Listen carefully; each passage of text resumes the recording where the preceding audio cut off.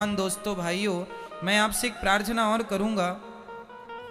अपने आप को तपाना होता है।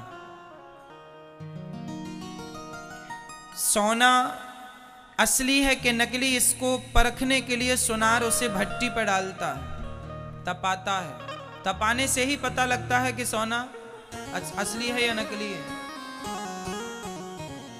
जब आप जितना तपेंगे जितना तपेंगे उतना मज़बूत होंगे। और एक बात और सुनो, जितनी बार हारेंगे, जितनी बार गिरेंगे, उतने बार आप उठने का प्रयास कीजिए।